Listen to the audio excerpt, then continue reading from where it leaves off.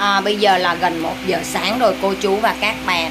Thì Ti nhận được một cuộc gọi cầu cứu ở dưới quận tư. Nói là bé cuốn của một gia đình đã cắn con chủ. Bị chảy máu chân bị thương nặng ở chân luôn. Thì bạn à, rất mong máy ấm của Ti tiếp nhận con. Ti đã đồng ý rồi và hiện tại Ti đang chờ bạn tới. À, bạn cũng có lòng. À, em cuốn của bạn cắn con bạn bị thương rất là nặng luôn cô chú. Nhưng mà bạn sợ gia đình của bạn nó tức giận đập chết bé nên đã nhờ Ti giúp đỡ. Ti đang chờ bạn đó đến. Giờ này là một giờ sáng luôn rồi mà cô chú và các bạn thấy máy ấm của Ti chưa nghỉ ngơi gì hết trơn, vẫn còn hoạt động bình thường. Con ngủ đi mẹ thương đây. Ti mới vừa làm clip. Cảm ơn à, cô chú và các anh chị nè. Cảm ơn chị Huyền nè, đã giúp đỡ cho các bé ở máy ấm của Ti. Và bây giờ thì Ti đang à, chờ đợi bạn đó tới ở chỗ Ti á, ban đêm rất là vắng vẻ luôn cô chú và các bạn. Ban đêm ở mái ấm của Ti á, ở ngoài đường là không có đèn tại vì ở trong đây không có dân cư ở. Nên ban đêm rất là khó đi.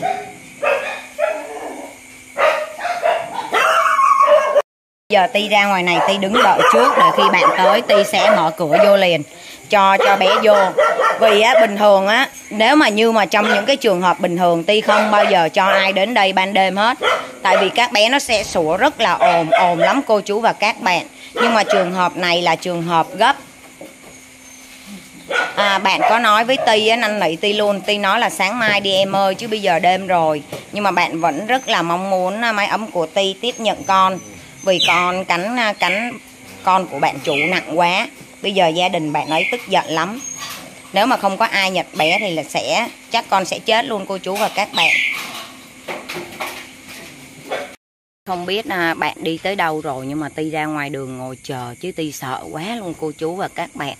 À, bây giờ là một giờ sáng rồi mà có người lạ tới thì các bé ở máy ấm của tây sủa ồn dã man luôn. Chắc dân chúng ở xung quanh đây sẽ dậy hết luôn.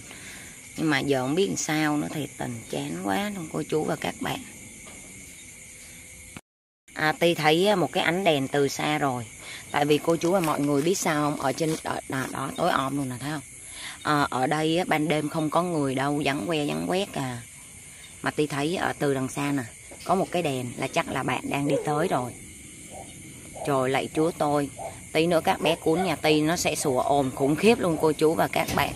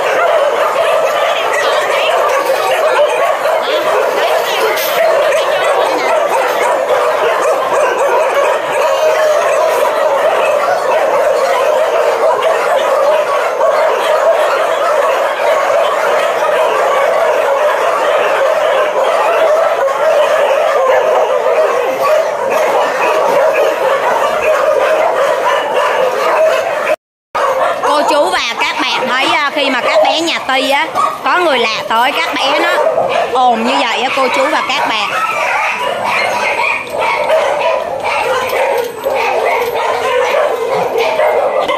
À, Ti xin khép clip ở đây. Kính chúc cô chú thật là nhiều sức khỏe. Ti rất mong cô chú và các anh chị theo dõi kênh like share và ủng hộ cho các bé ở mái ấm.